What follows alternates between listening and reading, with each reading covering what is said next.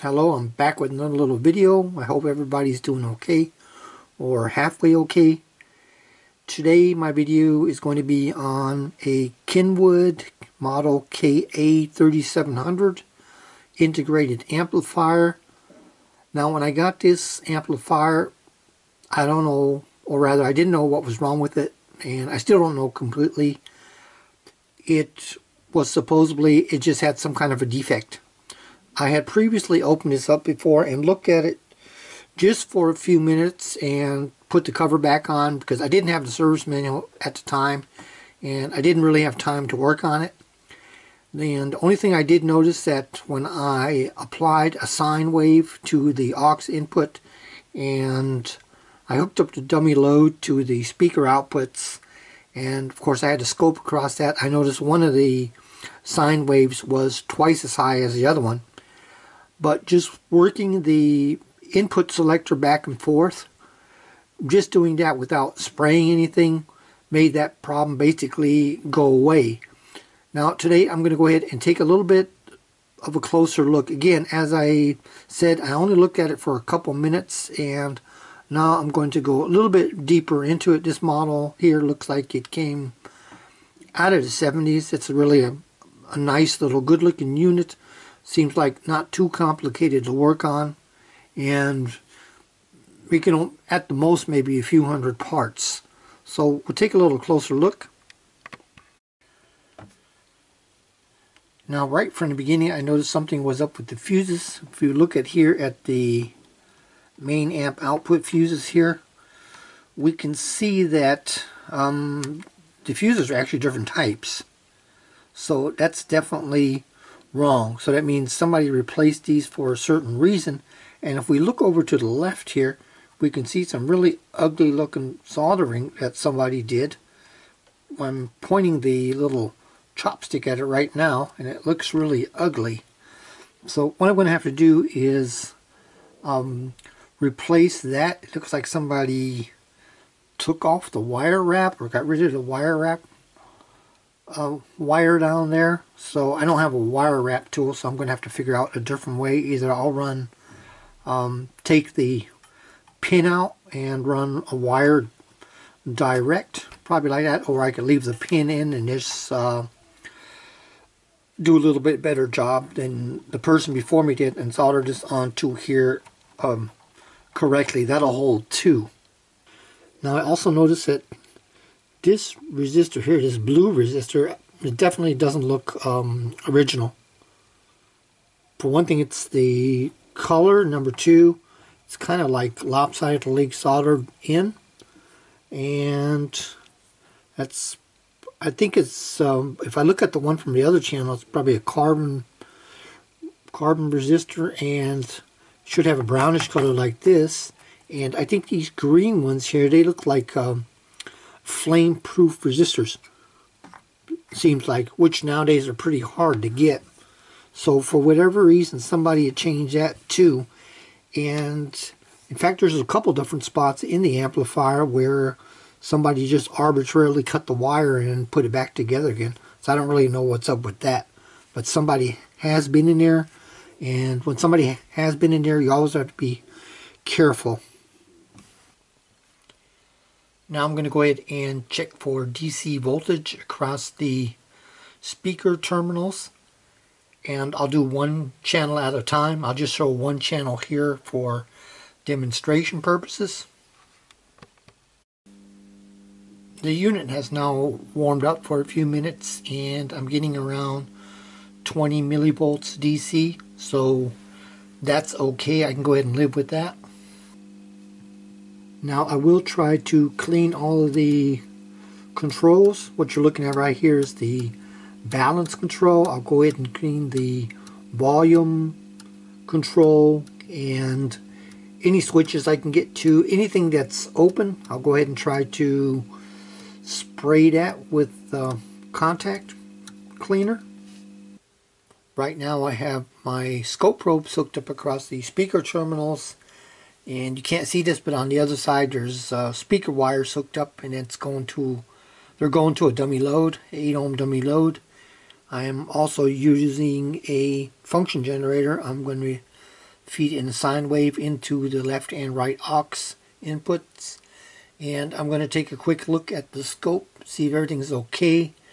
I have a variable isolation transformer so I can slowly bring the voltage up. If not, I would be using my old dim bulb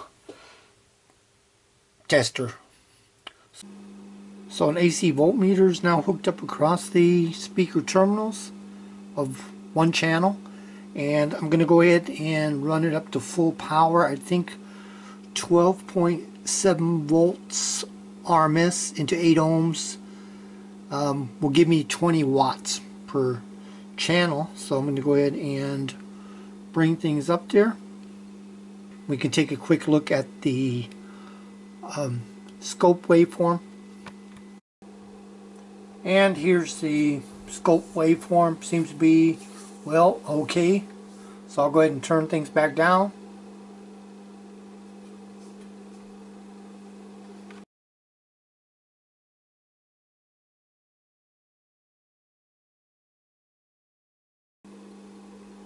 Right now I'm feeding in a square wave of 2000 hertz which would cover up to 20,000 hertz and one channel doesn't really look that good.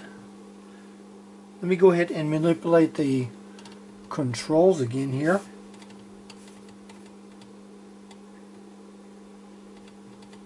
Right now I'm doing the bass and treble. Let me hit the loudness.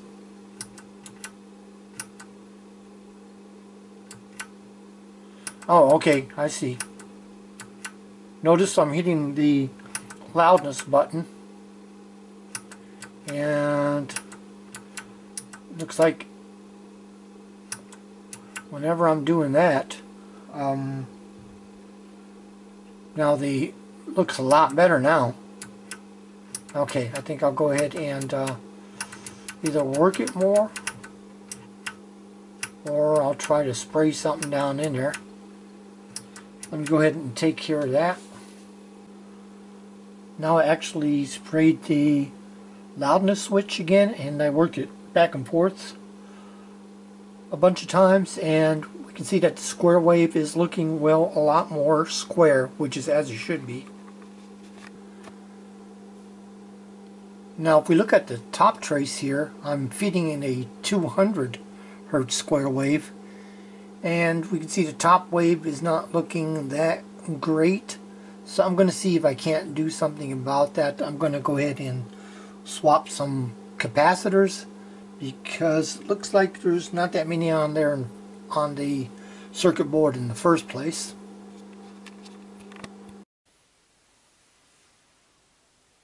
Now I have the unit standing up now. I decided to take off the front cover and the plate behind that in order to get to the main amplifier board. And now I've got it flipped over now. Basically it's upside down. And I'm going to go ahead and slowly replace the electrolytic capacitors. There's really not too many of them I think there were like 16 or 18 I have them all on hand except for the two large power supply capacitors there and also I think I can get to the controls easier now and spray into the holes on the side there. Took a minute, but um, well, it actually wasn't that hard to do. It just takes a little time. So I'm going to go ahead and change all the capacitors, or rather all the electrolytic capacitors.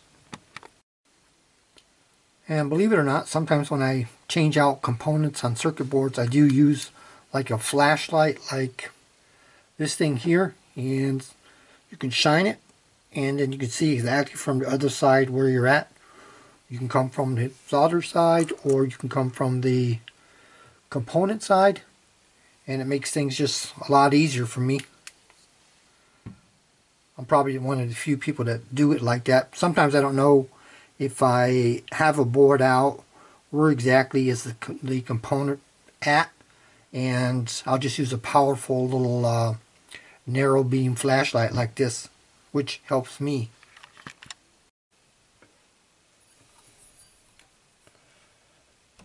Now here, just as a demonstration, you can see me shining from the component side. Again, it's a big help for me, but I'm probably one of the few weird people that do it like this. I don't always do it like that. Sometimes it's easy, easy to see where the components are at, but other times not.